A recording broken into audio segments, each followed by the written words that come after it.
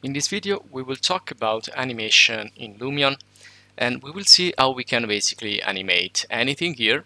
So in the previous lessons we talked about the effects, the video effects that we can apply to static images, to static renderings, but almost all the effects here can be also animated and also we can animate cameras and we already know that we have some animated 3D models in the library and also we can we will see how to animate objects and other models in the scene.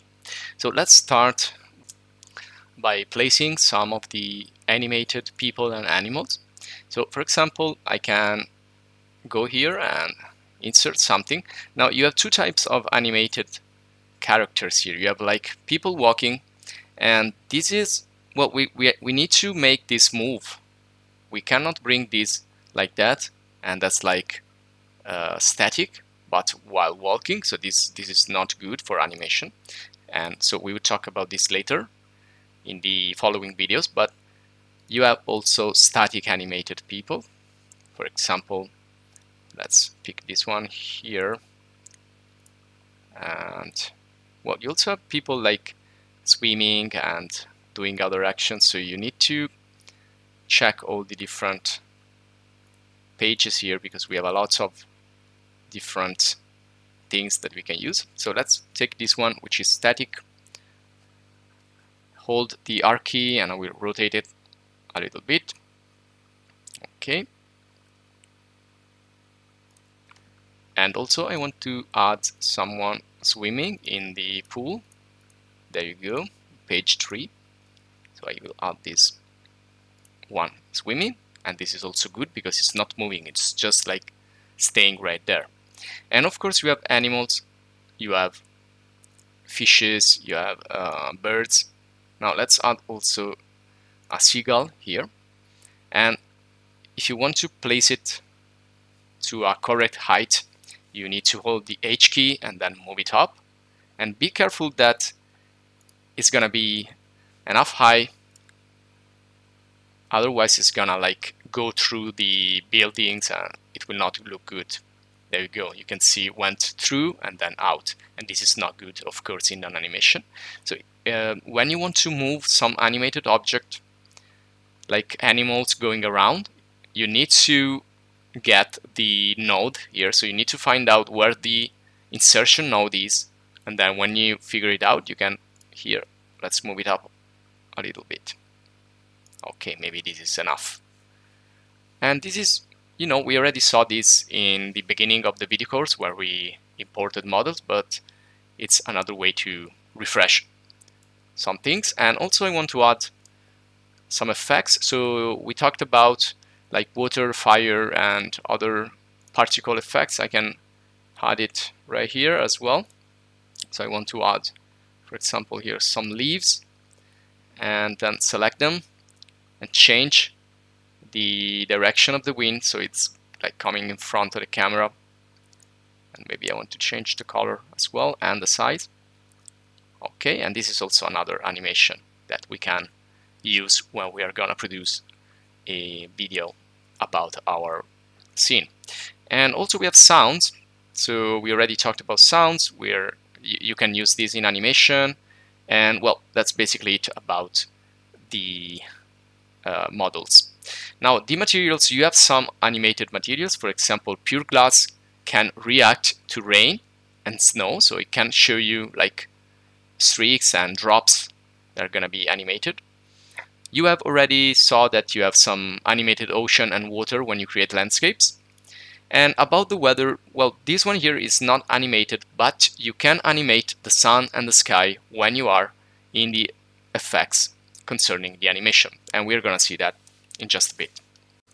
So let's move into the effects panel and this time we're not gonna use photo because we used this for static images in the previous lessons. Now we're gonna get to movie.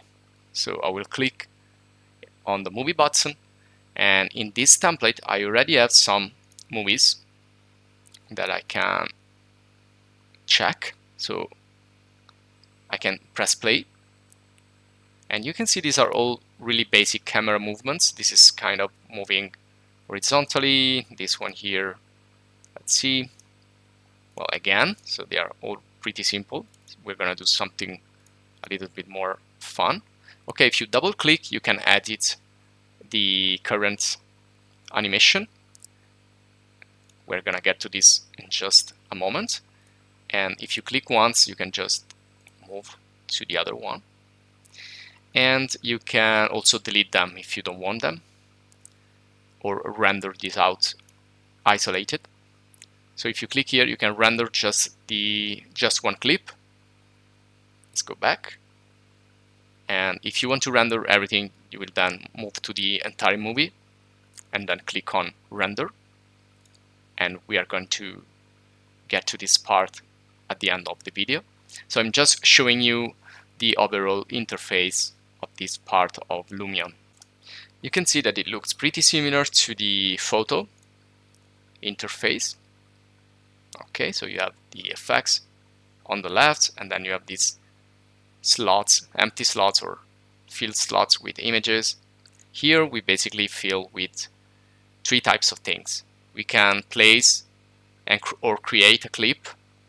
And let's go into this empty one. If you click here you can decide if you want to import an existing movie from a file. So if you have some something that you want to add coming from perhaps another application or from YouTube or whatever, you can add any video here as long as it is in MP4 format. And also you can add an image. So let's say I want to add here some render. I can use one of the renderings that we previously created. Okay and then I say yes. You can also edit and change the duration here. So if you want to make it longer or shorter in time, say OK. And you can also create a photo slide. So if you want to just create a sequence of images, you can bring them in one by one and create an animated sequence. So you produce a video which is not an actual animation, but just a sequence of images. You want to keep it simple, you can do this. If you want to do something more advanced, let's jump into action by clicking on record. So let's start to create our view, our animated camera, which will display a nice video.